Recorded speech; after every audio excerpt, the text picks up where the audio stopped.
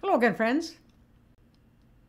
Well, this is the day my mom would have turned 100 years old. She almost made it. She went to heaven to be with Jesus on February 4, just three months ago. So today is a day of mixed emotions, as you can imagine.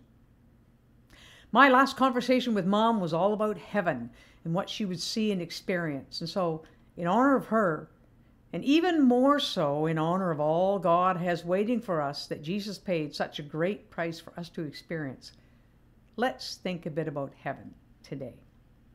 Listen to these words. Then I saw a new heaven and a new earth, for the old heaven and the old earth had disappeared, and the sea was also gone. And I saw the holy city, the new Jerusalem, coming down from God out of heaven, like a bride beautifully dressed for her husband. I heard a loud shout from the throne saying, Look, God's home is now among his people. He will live with them, and they will be his people. God himself will be with them. He will wipe every tear from their eyes and there will be no more death, or sorrow, or crying, or pain. All these things are gone forever. And the one sitting on the throne said, Look, I am making everything new. I saw no temple in the city, for the Lord God Almighty and the Lamb are its temple. And the city has no need of sun or moon, for the glory of God illuminates the city, and the Lamb is its light. The nations will walk in its light, and the kings of the world will enter the city in all their glory.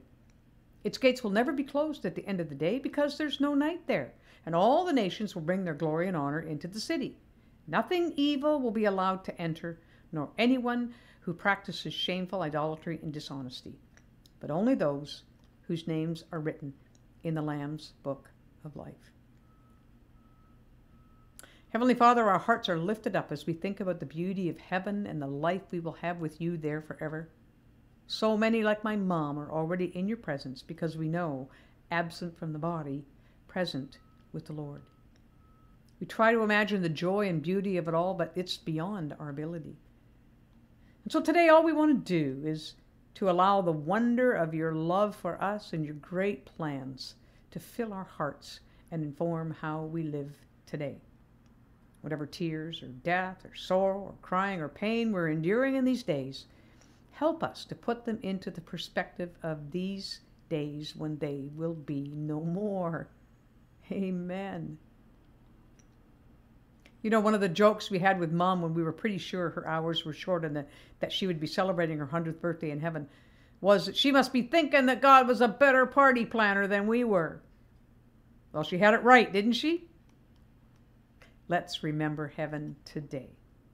Have a great day.